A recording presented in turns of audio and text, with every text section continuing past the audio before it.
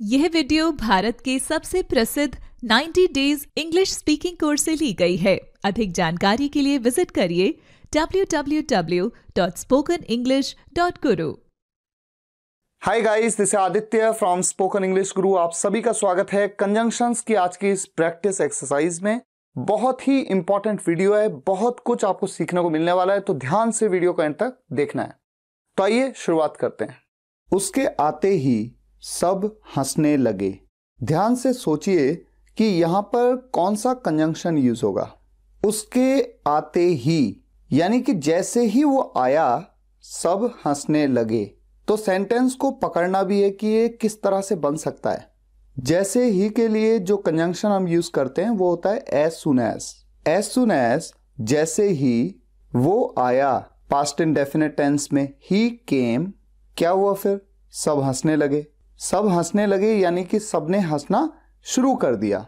तो सबने शुरू कर दिया। सब्जेक्ट है सब ऑल शुरू कर दिया पास्ट इन डेफिनेट टेंस में आया, गया, उठा, बैठा, रोया, सोया, शुरू कर दिया। शुरू करना को स्टार्ट कहते हैं, उसकी सेकंड फॉर्म का यूज़ होगा स्टार्टेड और आप जानते हैं कि स्टार्ट के बाद जो भी वर्ब आती है ऑब्जेक्ट में, उसकी आईएनजी फॉर्म का यूज़ किया जाता है। यहाँ पर ऑब्जेक्ट में कौन सी वर्ब आ रही है? हंसना। हंसने को लाफ कहते हैं, उसकी आईएनजी फॉर्म लाफिंग अब देखिए पूरा सेंटेंस क्या बन गया? एज सुन एज ही केम जैसे ही वो आया ऑल स्टार्टेड लाफिंग सबने हंसना शुरू कर दिया, यानी सब हंसने लगे। अच्छा यहाँ पर हम एज सुन एज की जगह पर द मोमेंट भी कह सकते हैं। जब भी किसी सेंटेंस में जैसे ही के लिए आप एज सुन एज का यूज़ करते हैं उसकी जगह पे आप द मोमेंट का भी यूज़ कर सकते हैं। द मोमेंट ही केम, जैसे ही वो आया और स्टार्टेड लाफिंग नेक्स्ट सेंटेंस चाहे वो बैठे या ना बैठे, मैं तो बैठूँगा।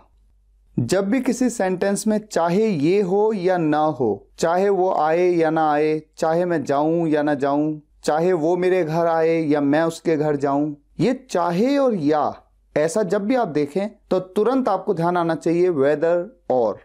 और हमेशा याद रखिए वेदर के साथ वाला जो भी क्लॉज होगा, जैसे यहाँ पर है, चाहे वो बैठे या ना बैठे, ये जो पूरा क्लॉज है, ये हमेशा प्रेजेंट इन डेफिनेट टेंस में ही बनता है। तो इस सेंटेंस को कैसे बनाएँ? वेदर ही सिट्स चाहे वो बैठे और नॉट या नहीं, मैं तो बैठूँगा आई विल सिट इसी तरह का एक और सेंटेंस चाहे वो आए या ना आए, मैं तो दिल्ली निकल जाऊँगा। Whether he comes or not चाहे वो आए या ना आए आई विल लीव मैं निकल जाऊँगा फॉर डेली दिल्ली के लिए। अच्छा अब आ जाते हैं नेक्स्ट सेंटेंस पे। न वो आया, न मैं गया। न वो आया, न मैं गया। जब भी आप ऐसा सेंटेंस देखें, न ये हुआ, न वो हुआ, न उसने कहा, न मैंने कहा, न वो आया, न मैं गया, ऐसे सेंटेंसेस में हमेशा नाइदर नॉर का कॉम्बिनेशन यूज़ होता है। पहले वाले न निगेशन के केस में नाइदर नाइदर के बाद वो आया। ही केम दूसरे वाले न के लिए, यानी निगेशन के लिए नॉर मैं गया I went neither he came nor I went न मैंने देखा, न किसी और को देखने दिया। न मैंने देखा। नाइदर आई सॉ न किसी और को देखने दिया। Nor let anybody else see यहाँ पर आप देख रहे हैं लेट का यूज़ हो गया। एज अ मेन वर्ब क्यों हुआ? क्योंकि जब भी किसी सेंटेंस में हम किसी दूसरे व्यक्ति को किसी काम को करने देते हैं या नहीं करने देते हैं तो ऐसे में लेट का यूज़ होता है। लेट की वीडियोस में बताया आपको। नेक्स्ट सेंटेंस मैं यही तो कर रहा हूँ। मैं यही तो कर रहा हूँ। बोलने में तो इस सेंटेंस को ऐसे बना सकते हैं। I am doing the same thing I am doing मैं कर रहा हूँ। द सेम थिंग सेम चीज़ कर रहा हूँ। लेकिन यही तो इसके लिए कंजंक्शन यूज़ होता है। दैट्स वट दैट्स वट यही तो मैं कर रहा हूँ I am doing that's what I am doing जैसे मैं कहूँ, मैं तुम्हें यही तो बता रहा हूँ। यही तो दैट्स वट मैं तुम्हें बता रहा हूँ। I am telling you that's what I am telling you बोलने में तो मैं ऐसे भी कह सकता हूँ I am telling you the same thing मैं आपको सेम चीज़ बता रहा हूँ। मतलब मैं आपको यही बता रहा हूँ।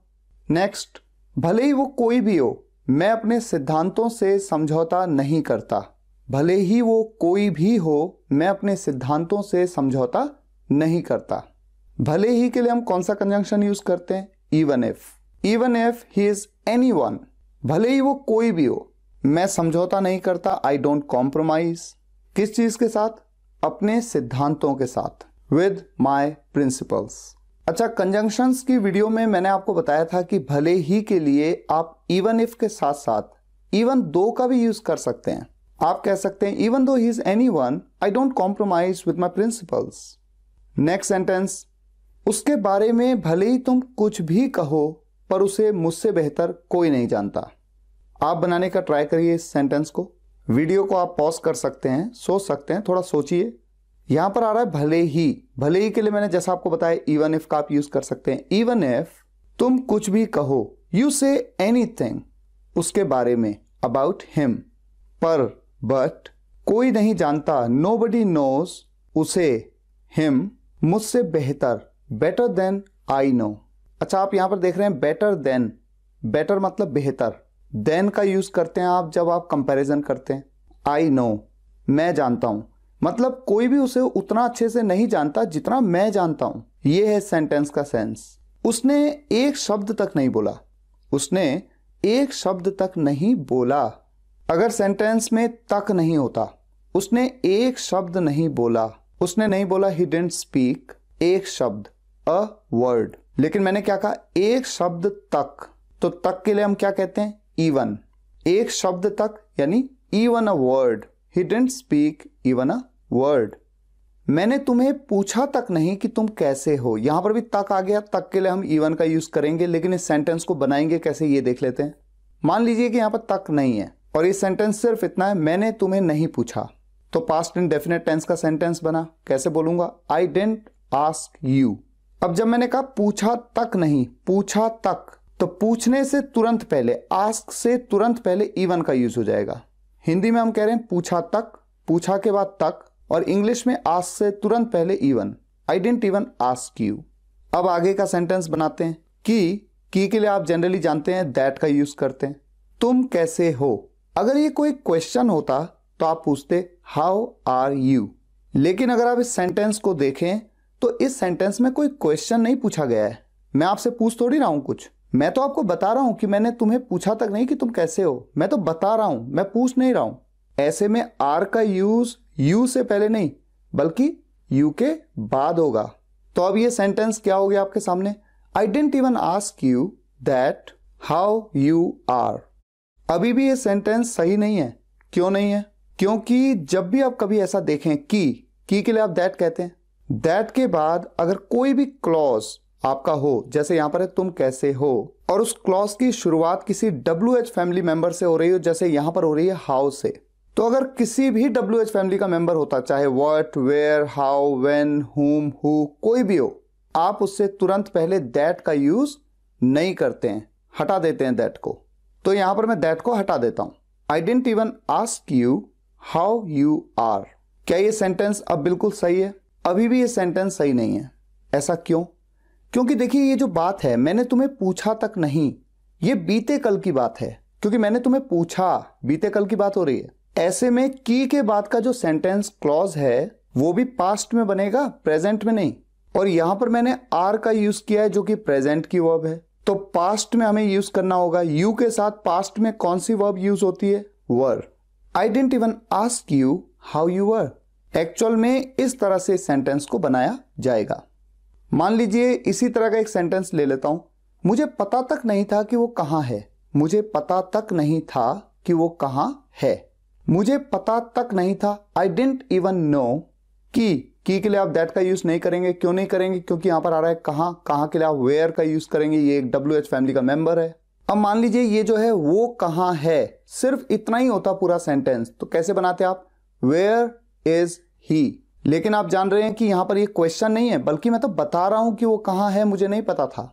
तो ऐसे में इज़ का यूज़ ही के बाद होगा। वेयर ही इज़ लेकिन चूँकि ये सेंटेंस पास्ट में है, मुझे पता तक नहीं था। ऐसे में इज़ नहीं, क्या यूज़ करेंगे ही के साथ? Was I didn't even know where he was चलिए, आगे बढ़ते हैं। हमने अभी तक किसी को नहीं बुलाया है। हमने किसी को नहीं बुलाया we have not called anyone अभी तक यट और आपकी नॉलेज के लिए बता दूँ कि अभी तक के लिए आप एज यट भी कह सकते हैं। सो so फार भी कह सकते हैं। बाय नाउ कह सकते हैं। टिल नाउ भी कह सकते हैं। वो अभी भी बुरे दौर से गुजर रहा है। मान लीजिए यहाँ पर अभी भी नहीं होता। वो बुरे दौर से गुजर रहा है। He is going through a bad phase जब मैंने कहा अभी भी तो मैं क्या यूज़ कर लूँगा? Still he is still going through a bad phase अब आ जाते हैं नेक्स्ट सेंटेंस पे। अपने दोस्तों का साथ दो। ऐसा ना हो कि ज़रूरत पड़ने पर वो तुम्हारा साथ ना दें। अपने दोस्तों का साथ दो। हेल्प योर फ्रेंड्स हेल्प या सपोर्ट भी कह सकते हैं। अगर सेंस सपोर्ट का निकल रहा है तो सपोर्ट कह दीजिए। ऐसा ना हो कि, या कहीं ऐसा ना हो कि इसके लिए कौन सा कंजंक्शन यूज़ करते हैं? लेस्ट और लेस्ट के बाद जो भी सेंटेंस पार्ट आता है, जो भी क्लॉज आता है, उसमें हमेशा मॉडल वर्ब शुड का यूज़ किया जाता है। तो लेस्ट के बाद का क्लॉज क्या है? ज़रूरत पड़ने पर वो तुम्हारा साथ न दें। वो एक से ज़्यादा है। They should not help you वो आपका साथ न दें। ज़रूरत पड़ने पर इन नीड तो ये पूरा सेंटेंस क्या बन गया? Help your friends lest they should not help you in need next sentence जब तक वो मेरे पैसे वापस नहीं करता, मैं उसे नहीं छोड़ने वाला। जब तक के लिए टिल का यूज़ कर सकता हूँ। टिल वो मेरे पैसे वापस नहीं करता। प्रेजेंट इन डेफिनेट टेंस का negative sentence he does not return my money मैं उसे नहीं छोड़ने वाला। I am not going to spare him छोड़ने को यूँ तो लीव कहते हैं, लेकिन मैंने आपको एक वीडियो में बताया भी था कि लीव और स्पेयर में क्या फ़र्क होता है। जब आप किसी को ऐसा कहते हैं कि मैं तुम्हें नहीं छोड़ूँगा, मैं उसे नहीं छोड़ने वाला, इसके लिए स्पेयर वर्ड का यूज़ करते हैं। अच्छा तो ये पूरा सेंटेंस हो गया। Till he does not return my money I am not going to spare him और आपकी नॉलेज के लिए बता देता हूँ गोइंग टू की जगह पे जनरली कॉन्वर्सेशन में गोना वर्ड का यूज़ कर लिया जाता है। और यहाँ पर आपको ध्यान रहे कि टिल की जगह पे आप टिल द टाइम भी कह सकते हैं। दोनों का एक ही मतलब निकलता है। Till the time he does not return my money I am not gonna spare him अच्छा अब इस सेंटेंस में थोड़ा सा एक चीज़ और देख लेते हैं। यहाँ पर आप देख रहे हैं, जब तक वो मेरे पैसे वापस नहीं करता, जब तक नहीं, जब तक नहीं के लिए मैं अनटिल का यूज़ कर सकता हूँ। तो बाकी का क्या क्लॉज बचा? वो मेरे पैसे वापस करता। तो ये अब नेगेटिव नहीं है ना? ही रिटर्न माई मनी तो जो अनटिल है टिल का नेगेटिव है। Until he return my money जब तक वो मेरे पैसे वापस नहीं करता I am not going to spare him next sentence मैंने ये किताब खोली ही थी कि मुझे अपना बचपन याद आ गया। जब भी आपके सामने ऐसा कोई सेंटेंस आए कि मैंने ये किया ही था कि ऐसा हो गया, मैंने आपके बारे में सोचा ही था कि आपने कॉल कर दी, मैंने उसे देखा ही था कि उसने मुझसे कुछ पूछ लिया, इस तरह के सेंटेंसेस को नो सूनर के साथ एडवांस इंग्लिश में बनाया जाता है। कैसे? मैंने ये किताब खोली ही थी यानी कि किसी काम को किया ही था, आया था, गया था, उठा था, बैठा था, रोया था, सोया था, हंसा था, जागा था, ये तो पास्ट परफेक्ट में होता है। वहाँ पर हैड का यूज़ किया जाता है। तो यहाँ पर भी हैड का यूज़ किया जाएगा। No sooner had I open the book कि मुझे अपना बचपन याद आ गया। ऐसे में याद रहे नो no सूनर के बाद आप दूसरे क्लॉज की शुरुआत देन से करते हैं। T H A N than ये टी एच ई एन नहीं है, ये टी एच ए एन है, जिसका यूज़ आप कंपैरिजन के लिए करते हैं। मुझे अपना बचपन याद आ गया आई रिमेंबर्ड माई चाइल्डहुड तो ये पूरा सेंटेंस क्या बना no sooner had I open the book then I remembered my childhood इसी तरह का एक सेंटेंस मैंने तुम्हें कॉल की ही थी कि तुम मेरे घर पहुँच गए no sooner had I called you than you reached my home. No sooner had I called you than you reached my home. Next sentence. वो मुझसे बात करने लगा मानो मुझे पहले से जानता हो वो मुझसे बात करने लगा, यानी उसने मुझसे बात करना शुरू कर दिया। He started talking to me मानो मानो के लिए कौन सा कंजंक्शन यूज़ होता है? एज एफ़ एज एफ़ वो मुझे पहले से जानता हो। अब चूँकि ये बात हुई है पास्ट में, वो मुझसे बात करने लगा। ये बीते कल की बात हो रही है। इसलिए जो आगे का क्लॉज भी है, वो पास्ट में ही तो बनेगा।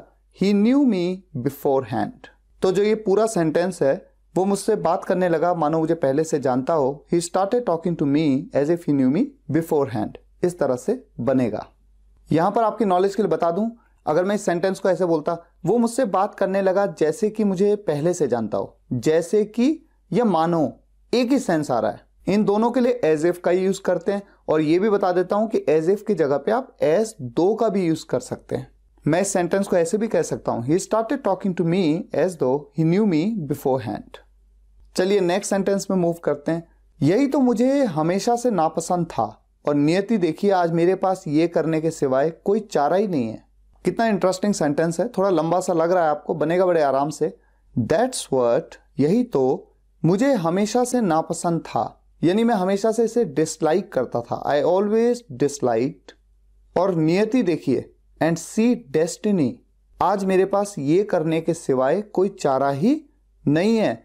मेरे पास कोई चॉइस नहीं है। आई हैव नो चॉइस सिवाय किसके? सिवाय ये करने के। बट टू डू इट सिवाय के लिए भी बट का यूज़ किया जाता है। कंजंक्शन के वीडियो में बताया मैंने आपको।